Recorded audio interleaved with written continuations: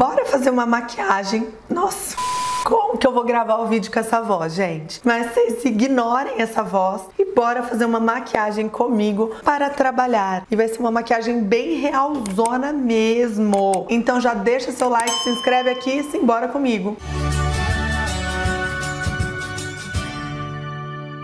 Oi, gente, tudo bem? Meu nome é Michelle Del Santo, eu sou maquiadora profissional e hoje eu vou fazer uma maquiagem, uma automaquiagem aqui junto com vocês para o meu dia de trabalho aqui no estúdio. Eu saí de casa e nem passei protetor solar, não façam isso, tá? Mas eu deixei para passar justamente com vocês e eu vou usar esse protetor solar aqui, ó, da Salve, que eu tenho amado ele, eu tenho gostado muito dele. Inclusive, eu fiz um vídeo lá pro Reels, gosto de aplicar bastante produto e uma das coisas que eu gostei desse protetor solar é o que? Ele manteve minha pele hidratada, porém ele é toque sequinho, sabe? Ele é bem sequinho. Outro ponto super positivo que eu gostei, ele não fica esbranquiçado. Ele aceita super bem a maquiagem por cima, porque tem protetor solar, gente, que não aceita a maquiagem por cima, tá? Eu vou fazer uma maquiagem rápida e básica, assim, pro meu dia a dia, tá? Vou vir aqui, ó, pra base da Dalla Makeup, que essa daqui é a Secrets. Essa daqui é a cor número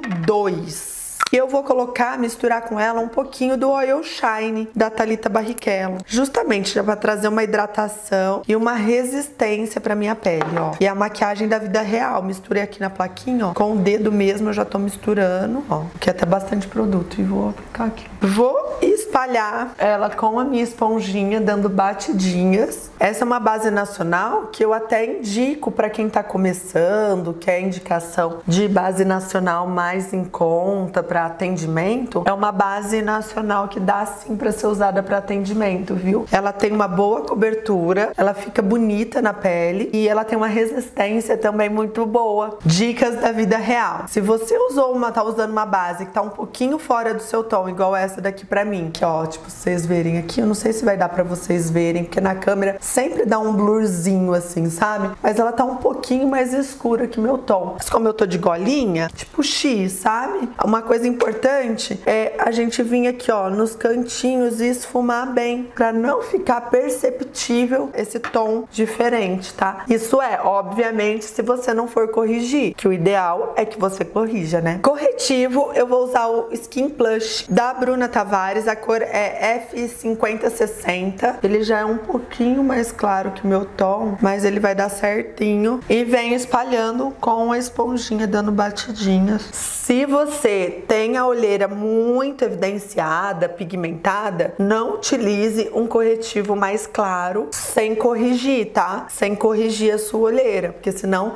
vai acinzentar. Aqui esse corretivo tá um pouco mais claro, então eu venho, aplico ele, pego a parte onde eu apliquei a minha esponja e vou dando batidinhas, ah, apliquei a minha esponja não, né? Apliquei a minha base, né, e vou dando batidinhas assim, ó, por cima, só pra fazer a transição de uma forma mais bonita, tá? Então eu venho, aplico aqui o corretivo, ó. Esse daqui é um corretivo que eu gosto bastante, porque ele é leve, de leve para médio, sabe? Ele fica bonito, não acentua as linhas de expressão, ó. Vou dar umas batidinhas. Daí tá vendo que tá ficando marcado, ó. Tá ficando uma faixa mais clara. Mas isso vai se resolver. Por quê? Vou vir com a parte aqui onde eu passei a base e vou dando batidinhas pra tirar essa marcação e deixar mais uma esfumadinho, né? Uma transição. Vou usar um blush blushzinho líquido, mais pro tomzinho de salmão, ó. Esse daqui é o Bipit, da Bruna Malheiros. E eu vou passar ele aqui, ó. Ele é bem alaranjadinho, tá vendo, ó? E com a esponjinha mesmo, eu vou dando batidinhas. Ele fica lindo, gente. Pra quem gosta dessa vibe mais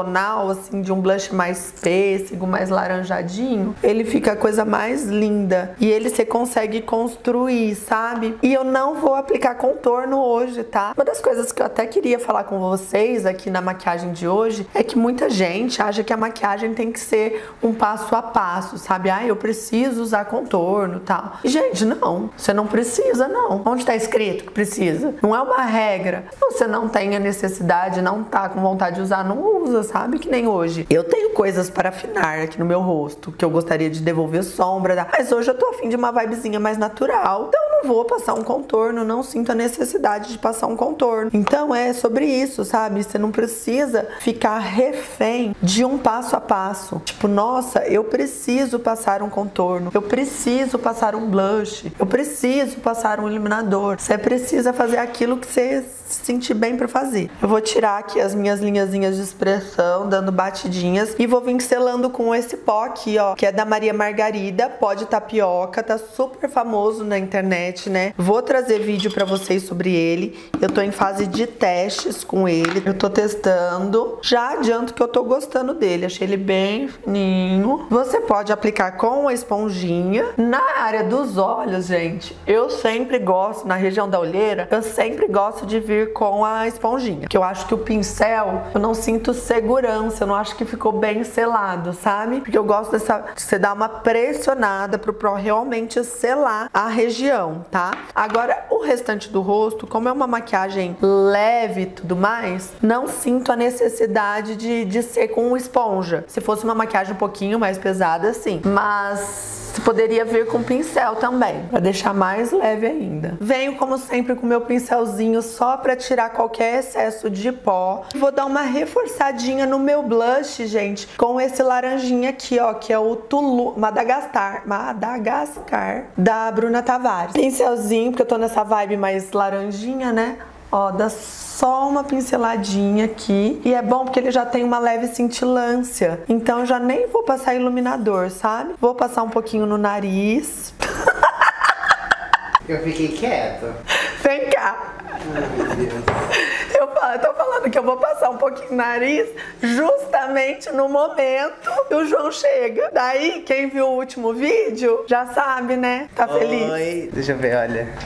Tô, porque não tem no nariz ainda. Tem pouquinho, ó. Aqui assim, Mas ó. tá bom, amiga. Olha, olha como meu nariz é torto. Vamos evitar o, o soco do sol. O soco do sol, eu gosto. Deixa. É por isso que você tá rouca. Pelezinha feita, vou fazer minha sobrancelha com um produtinho que eu tô amando, gente. Que é esse daqui da Chiglan. Esse daqui não é o lapisinho normal. Esse daqui, ó, ele tem o lapisinho super fininho. E tem também esse lado aqui, ó, dessa canetinha. É excepcional. Olha a finura disso, vocês não vão nem conseguir ver. Ele faz uns fiozinhos e isso daqui não sai. Não sai. Eu preciso fazer minha sobrancelha, mas eu não vou mexer nela agora no vídeo, porque porque eu quero tirar ela depois, né? Tirar assim, os excessos, fazer o design, não que eu vou tirar. Eu vou primeiro passar o meu serumzinho de crescimento que eu tô usando. É esse daqui, ó. Vou dar uma dica pra vocês, ó. Cero de crescimento de sobrancelha e cílios, Nirage.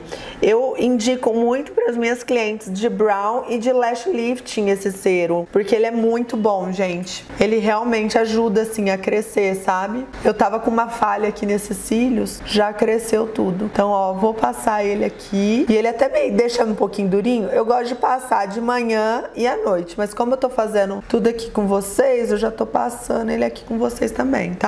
E à noite eu faço meu skincare e passo ele. E ele não é caro. Acho que é 40, 50 reais, negócio assim, sabe? Se eu tiver algum link, eu deixo pra vocês. Vou passar nos meus cílios também, ó. Não arde, não faz nada, gente. É maravilhoso. Eu super indico pras minhas clientes. Então, gente, eu estou amando essa lapiseirinha. Gente, ela não sai, ó. Eu fiz esses dois tracinhos aqui, ó. Deixa eu ver. Tipo, eu esfrego e não sai. E dura a vida. E você consegue fazer tracinhos bem fininhos. Eu paguei, eu acho que 15 reais nela. Consegue deixar ela bem, fazer aquela sobrancelha bem desenhadinha, sabe? E não sai. Eu tô amando essa, essa canetinha. Aqui, ó, nos olhos, vou vir com a BT Transition. Ah, essa paletinha tem sido tudo. Vou pegar esse tomzinho mais clarinho, aplicar aqui, ó. Vou aplicar em todo o meu côncavo, gente. Desistir e marcar só o côncavo, aplicar em toda a pálpebra. Ó, aplicar em toda a pálpebra e esfumando, obviamente, perto do côncavo, deixando aquele olharzinho mais alongado. Com o pincelzinho chanfrado e esse tomzinho mais escuro da paleta, ó, eu vou puxar um pouquinho aqui no meu cantinho interno, um puxadinho, só carimbando mesmo, sabe?